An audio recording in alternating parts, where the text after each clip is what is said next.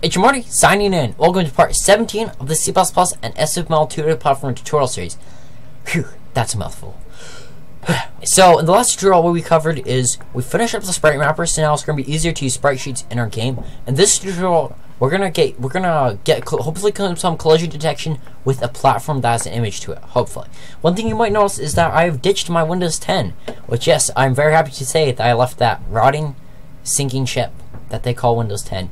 But anyways, we have a lot to do, so let's get started programming. So the first thing that I've did, so the first thing we want to do really is we're going to create, go to our project directory, and we're going to create a folder called assets. Because what we had before was we had data and we had all of our assets like our, our font files and our images inside there. But that, that's not really a folder for that. That belongs in assets folder. And inside data, that's where we're going to put like stuff like our player data, like, you know, if we have a save game function, that's what that's for, which I'm planning on having. So anyway, just create an uh, assets folder, copy whatever it is you have in your data folder, copy that over to assets. So open up your project file and let's begin programming. So the first thing we're going to want to do is we're going to want to restructure a bit the way that we're using images and uh, textures to with our with our classes. So like the way we're doing it right now is we've created our uh, we created our object right here. Uh, we create our sprite down here somewhere, and then what we do is, is that is then we're drawing it here, which we should, but we're moving it here, which we shouldn't. We want to move that inside inside the player class to keep it more modular. To keep modularity, we don't want to keep that, move that over to the player class. So the first thing I want to do is I want to take out, I'm not going to be, I, I think the first thing we, I think we all want to do is get rid of that hideous snail because I, I, I just don't think we're going to have fun programming a game about a little blue snail. I think so. What I've done is I've created a few different textures over the weekend when I had a bit of time. So in essence, um, if you guys want to know how I create textures, like the way I do it, um, just let me comment down in the comment section, and if I if I think that there's interest in it, I'll do a video on that. So I've created uh, the one I'm interested in now is platforms underscore one and player one. And if you're wondering why these guys here have of uh, rainbow faces and stuff like that is because my little sisters, they came down here and they're like, hey, ooh, that game looks like fun, Marty. Can I, can I play on it? I'm like, okay. I'm like, well, we need to have more than one player. So, you know, and then they, they picked up their own calls for everything, but, and they had a great time. So anyway, so anyway, let's go back into the code. So first, let's, let's get rid of that. So we don't, we're not going to be using snails. I just, a game about snails sounds kind of weird and boring. We're going to want something different. So let's start by accessing the texture class. So texture, and we're going to create a texture called, we're going to call this player, player and texture one. And then a semicolon, and then we're to go player, texture, player, whoops, texture one, and then dot load from file in order to load an image to that texture. I'm to some some I'm to string. Inside the string, we're to go with assets. This is where mine is located. Assets forward slash, and then it's in images forward slash, and it's player underscore one dot png is what it is. Now, if you don't know how what type of file it is, that's okay. It's fairly simple to do. You just go to your file, uh, wherever it is, right click on it, and hit properties. From there, I'll just tell you pretty quick. It's a PNG file is what mine is. Right there. You can use JPEG, you can use GIF, tons of different stuff with this and all. I'm just gonna stick with as with uh, PNG because it's simple and it's it's simple enough and gives me high enough quality for grades. So anyway, in the line with semicolon, so what we're going to want do is we're going to create a sprite with, uh, this, open up the sprite class, and we're going to call this player sprite 1, because we're if we're, when we're, we're planning on having an animation function, because of that, we're going to have more than one sprite. So, and then open up some parameters. Parameters going to give it is just the texture we're going to use, which ours is player texture 1. And then on a semicolon, hit enter, and actually from there, it's all good.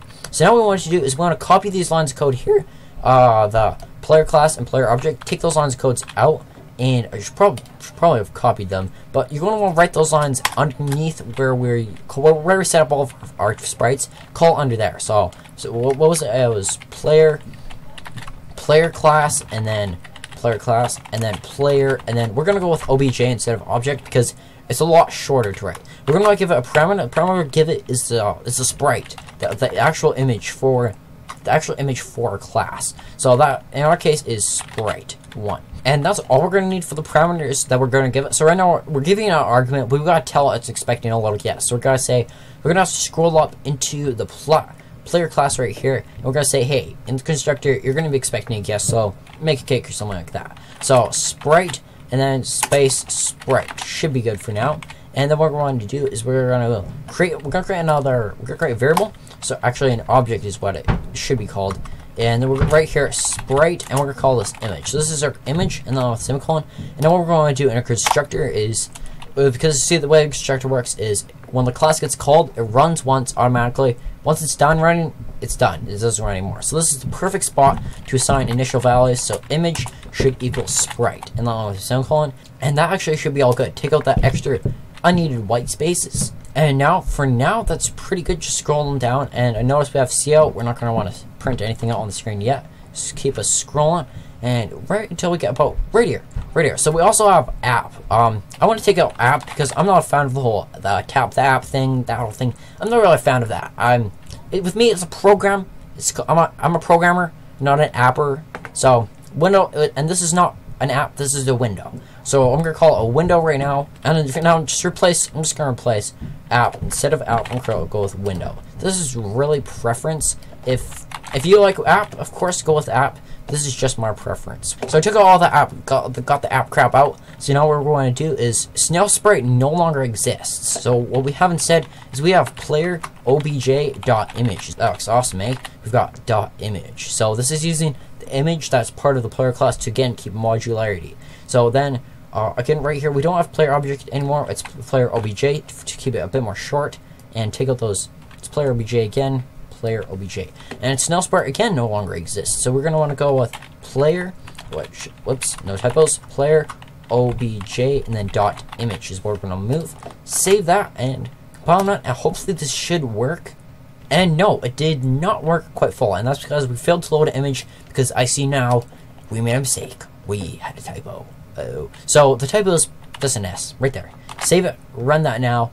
So there we go. So I have a swordsman on the screen, like requested. Now we're gonna get the we're gonna get the platform class working actually. So what we're gonna do is we're gonna load up another texture with texture, whoops, texture, and we're gonna call this texture here uh, platform sprite sheet because that's what it is. It's a sprite sheet that has full sprites. So that's what we're gonna call it to keep it concise because then we can cut out now we can actually use the sprite mapper we created in the last couple videos to actually cut out a sprite out of it. So then we're going to want to go, uh, what else should we do? Now we go uh, platform, that's a long variable. So dot load from file. One thing about long variables, it's okay to have a long variable if you're not going to be using it very often. Something like um, y, y position, if you're going to be using a lot, shorter and concise is better. If you're not going to be using it very often, it's okay if it's a bit longer.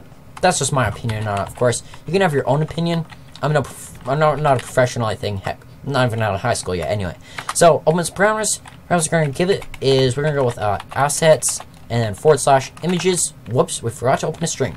We got to open up a string because it, it, reads it as a string. So assets and forward slash images and then uh, forward slash again. And we're to call it, this one here is platforms. I believe it is. Could be wrong. Platforms underscore one dot png. So we've loaded it up, and now what we want to do is we want to create a sprite. So we'll just go access the sprite class with sprite, and we're gonna call this one. We're gonna call this because this this sprite I know is like a earthy sprite, so we're gonna call earth sprite, and we're gonna call this one because we're gonna have more than one by the time this game is done.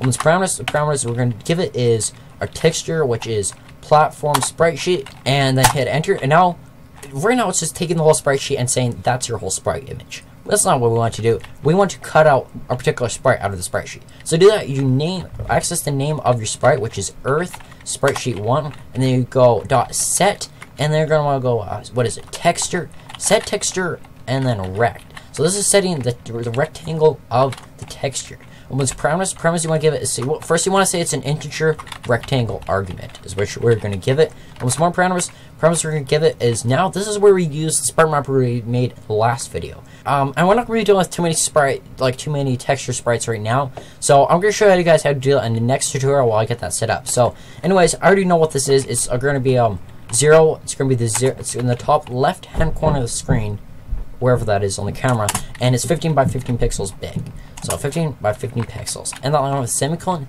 So now I've created this awesome texture. And now we want to create, now we actually want to use our platform class. So just go platform class, and then space, we're going to call this one platform obj. Opens parameters. The parameters, the parameters we're going to give it is the sprite we're going to give it, which Ours is, what do we call this? Uh, Earth Sprite 1. And that's not the only one. That's not the only parameter we're going to give it. Before that, we're going to give an initial X and Y position, which 100 pixels to the right and 100 pixels down. For now, as a test, it's pretty good. It sounds pretty solid to me. So now we've given it some guests, we've given it some arguments, so now actually got we got to tell it it's expecting some arguments. Ah, so see in the last tutorial we did say we told it was expecting some integer arguments, but we, we also got to say that was expecting a sprite argument. So sprite, and we should call this just sprite for now. It's fairly concise enough.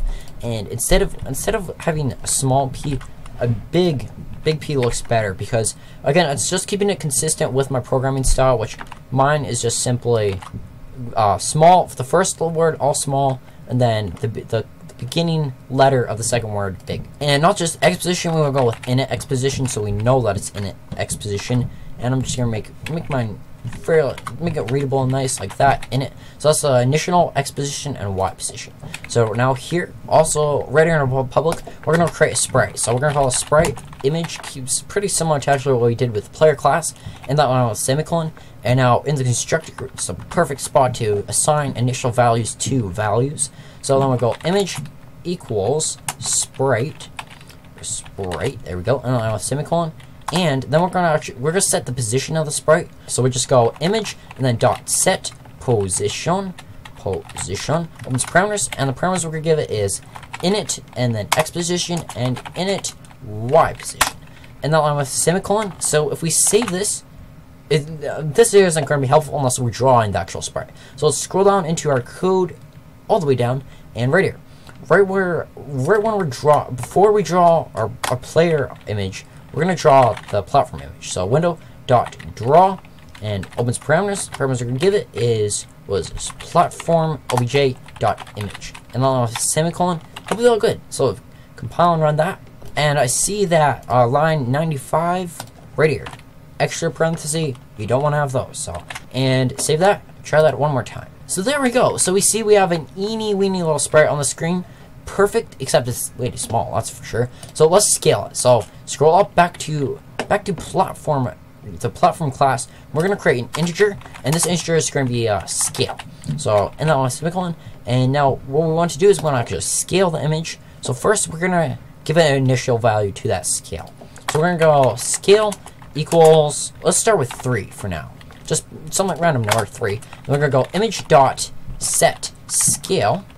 So image dot, or actually just image dot scale will work fine as well. The way that image dot scale works is it scales by an offend by an offset, and the way that set scale it, it sets the scale, so you can set it smaller and bigger. So we're gonna create it bigger, but we should probably use we should probably use set scale just because we might want to create it smaller in the future set scale, and we don't want to run into this issue later on. We're going to keep it, make it good from day one. So uh, scale is the only two arguments we're going to give it is just scale. And that line with semicolon. Okay, so we now have our platform displaying on the screen. So that's working all good, except we're not collision detecting with them yet. That's what we're going to cover in the next tutorial series. So stay tuned for that. Should be coming out next week. And again, if any of you guys have any, if any of you guys are interested in how I make my um, how make my textures and sprites with GIMP, just let me know down in the comment section, and if I feel there's enough interest in it, then I'll do a video on it. So, as always, I hope you guys enjoyed this video. If you guys have any questions or comments, leave that down in the comment section. Thank you for subscribing. I'll see you next video. Agent Mario.